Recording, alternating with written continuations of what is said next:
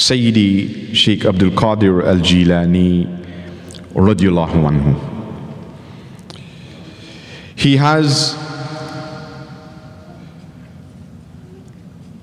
many titles referred to as Sultan Al Awliya, the leader of the awliya of Allah subhanahu wa ta'ala. And the awliya of Allah are a special class or category of believers. Allah subhanahu wa ta'ala mentions them in this Quran. ألا إن أولياء الله لا خوف عليهم ولا هم يحزنون الذين آمنوا وكانوا يتقون The awliya of Allah, the special friends of Allah, there is no grief for them. There is no fear of them or for them with respect to their maqam with Allah subhanahu wa ta'ala. Allah subhanahu wa ta'ala promises great blessings for certain groups of believers. And he mentions this. The Prophet ﷺ, for example, he says, Sab'atun yudhilluhumullahu fi dhillihi yawma la dhilla illa dhilluh. There are seven categories of believers. Allah subhanahu wa ta'ala protect them. Allah subhanahu wa ta'ala guided them to be examples for us. And the leader of the awliya is Sayyidi Sheikh Abdul Qadir Al Jilani radiallahu anhu, Sultan al Awliya, Al Ghaus Adham, the one from whom help is sought. Allah subhanahu wa ta'ala blessed him even in his lineage. On his father's side, he descends from Sayyidina Al Hassan radiallahu anhu alayhi salam from Ahlul Bayt. And from his mother's side, Umul Khair, he descends from Sayyidina Imam Hussein radiallahu anhu. So it's Hassani Husseini, Sayyidi Sheikh Abdul Qadir al-Jilani. And countless millions of believers were influenced by him and continue to be influenced by him. So many people he brought back to Allah subhanahu wa ta'ala. And only those who Allah subhanahu wa ta'ala elevates in their status and maqam are able to influence people in this way. An evil person cannot influence someone to believe in Allah. A bad person would not be able to get someone and many people to take shahada to become a believer, to become a Muslim, to accept Islam. Good people do that. Allah subhanahu wa ta'ala put the nur in their heart. So then, then they can become this light that people are guided with.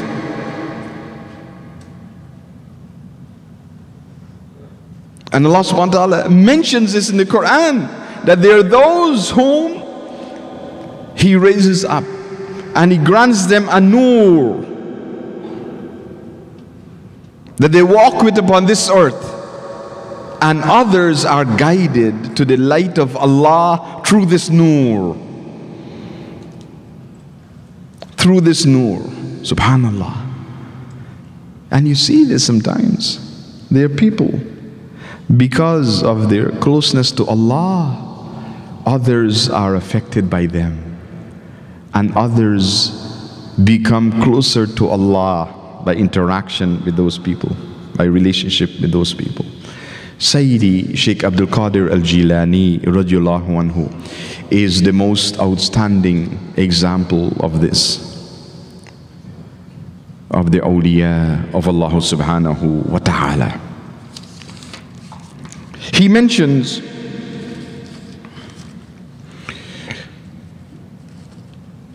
ten nasiha advises for those seeking Allah, salik at-tariq, the seekers on this journey to Allah subhanahu wa ta'ala. Mentions in one of his great books, Futuhul Ghaib. Ten advices, nasiha, for the one who wants to get closer to Allah subhanahu wa ta'ala. I want to share them with you today. The first thing he said, do not swear by Allah, whether truthfully or falsely, deliberately or absent mindedly. This is not something we see or, or witness too much here in our society. But you go to Muslim countries, like in the Middle East and so on, you, you notice it all the time. Wallah, wallah, wallah. Anything. And what happens, it becomes so much part of the, the vocabulary, the common, frequent vocabulary of people that they use it some many times without reason and out of its context and sometimes lying also to get things up done. I've witnessed this. Some, someone comes to you and they want you to do something for them. Say, Wallah, by Allah, my mother is very ill. You have to do this for me. My father is very ill. Sometimes they say someone, is, someone dies, and the next week they forget that they told you that. And they say the same person die again. Wallah, by Allah. So when they say that, you have no option. They are swearing by Allah, so you have to give them what they want. People use this conveniently sometimes. The Imam mentioned something very important. He says, Keep away from this. Keep away from this. Don't do this. Don't take an oath by Allah. It is serious. It is serious.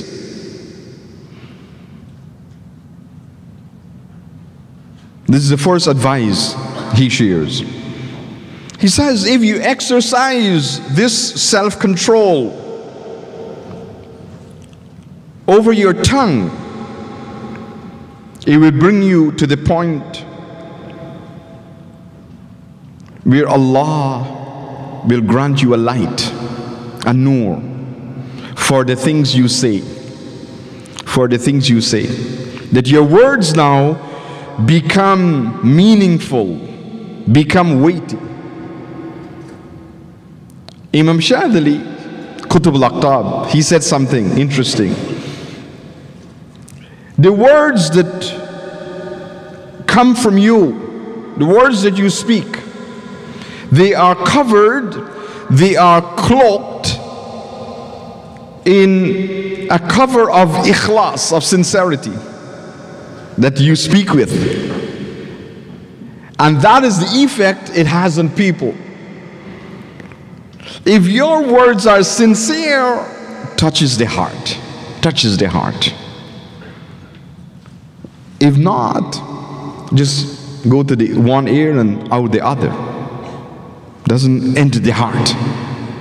The words that you speak, it's covered with ikhlas. Covered in that cloak. What is the nature of that ikhlas? What is the strength of that ikhlas? What is the purity of that ikhlas that you're speaking with? And so, words then, with this total, complete, sincere ikhlas for Allah, affects the heart of people. So he says, be mindful.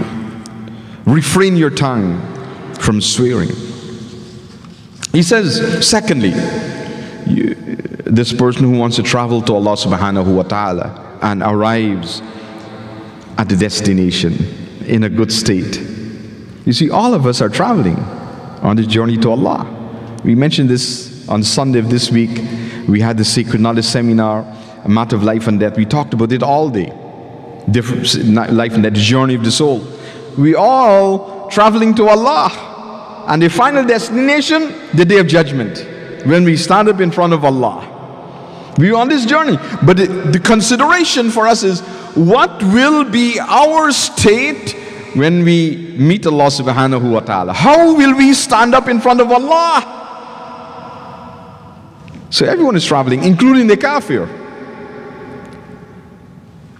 But the kafir, when he arrives in front of Allah, what he has?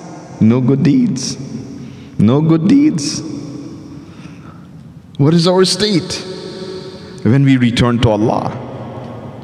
Salik tariq. He addresses them. Secondly, avoid lying. Kadhab. Avoid lying. Don't lie. No matter whether it is earnest, like deliberately, or in jest, like jokingly. Some people do that. And if you ask them, if you confront them, say, I'm just joking. It's like an excuse to do what they want to do. People sometimes they do that. They tell you so they want to tell you something hurtful and they make a joke of it. And if you were to confront them, they say, Oh, I'm just joking. And the Prophet Ali his was concerned about that. Be mindful of your jokes. You're responsible for them as well. You're responsible for them as well.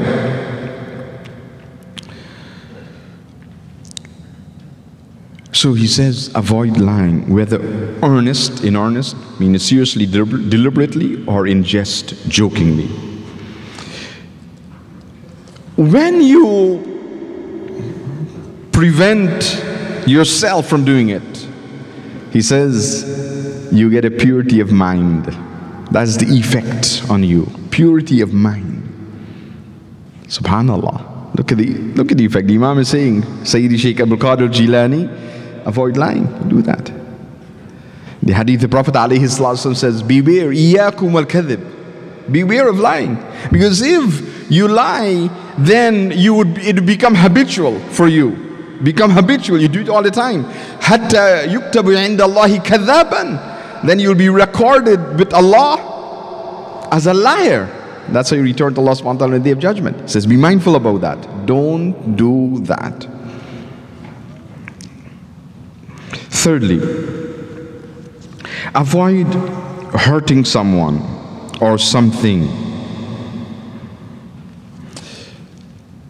And one of the things you mentioned, avoid cursing people. Avoid doing this. She says, even if you're angry with them, even if they are your enemy, even with your enemy, avoid doing it. And the Prophet would tell his Sahabas, don't do this. Especially with the unbelievers, the non-Muslims. You, you don't curse their gods because they may retaliate and they curse your God. Curse your prophet. Curse your religion. We don't want that. So even with someone that may be your enemy, you have some problems, conflicts with, you don't do that.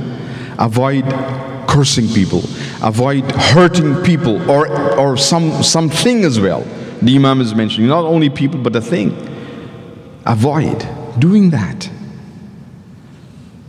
Then he says, it helps you on your journey to Allah subhanahu wa ta'ala. Because these things that he's mentioning, they're like hurdles, obstacles on the journey.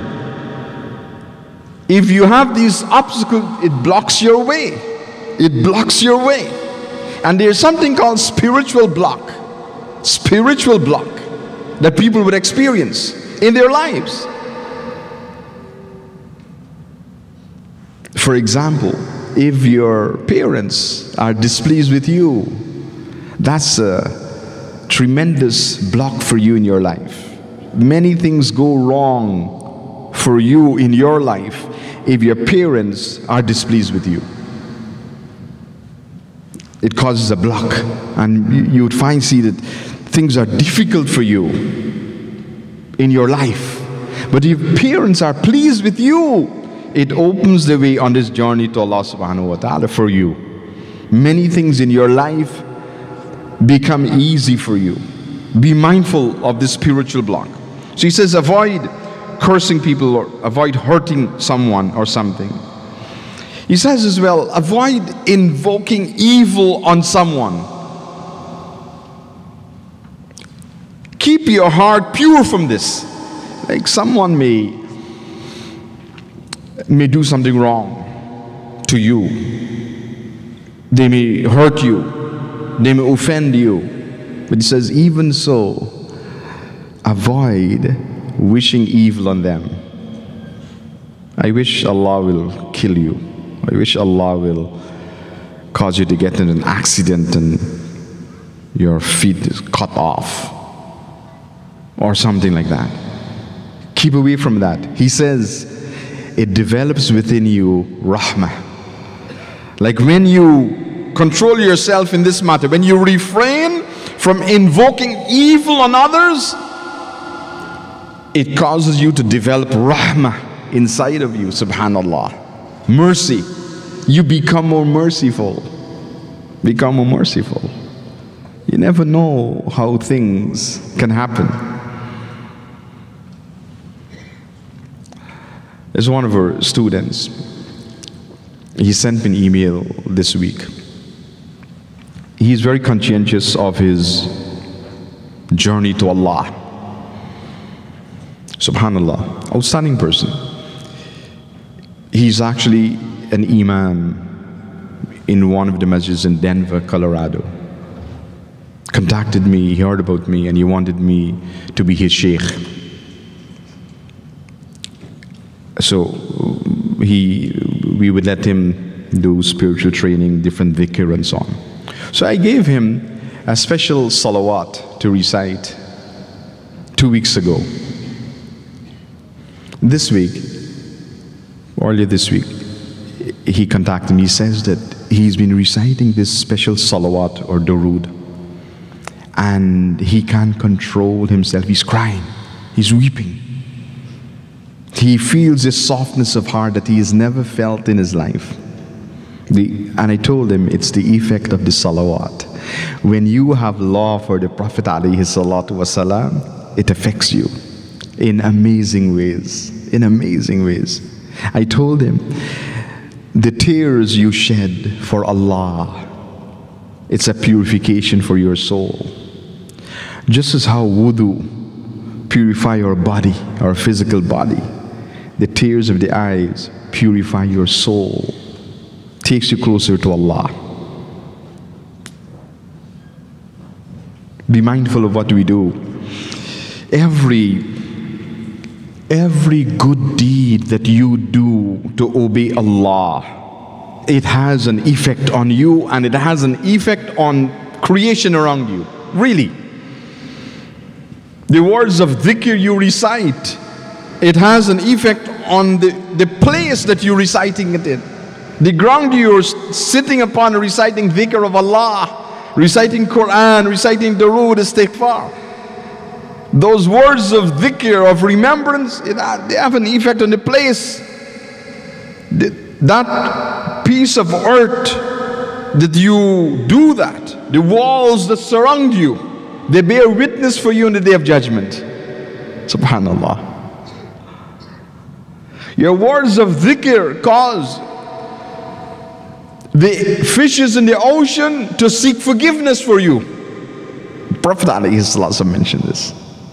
Your, your worship of Allah has an effect on the creation of Allah. Sayyidina Mu'adh ibn Jabal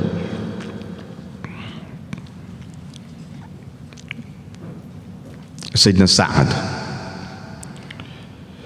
Sayyidina Sa'ad, when he passed away, the Prophet والسلام, said that the arsh of Allah, the throne of Allah, was shaking, was trembling on the news of the death of Sayyidina Sa'ad. Sayyidina Sa'ad, because of his worship of Allah.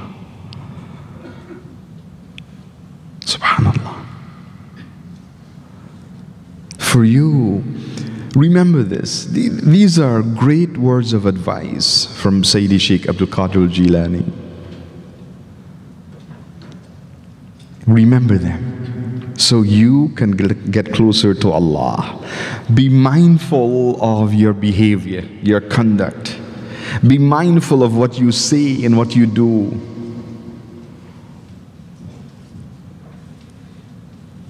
And the more you strive to please Allah, the more that nur becomes brighter for you. The more that nur, the light from Allah that He has placed in your heart, when He guided you to Iman, that light becomes brighter and brighter because of your worship of Allah, because of your striving for Allah. Don't disobey Allah. Strive to get closer to Allah. This is a message of Sayyidi Sheikh Abdul Qadir radiallahu anhu. May Allah subhanahu wa ta'ala bless us to love the awliya of Allah and to get closer to them. May Allah subhanahu wa ta'ala put in our, in our hearts love for him and love for his beloved Rasulullah sallallahu alayhi wa sallam. Ameen, ameen, ameen.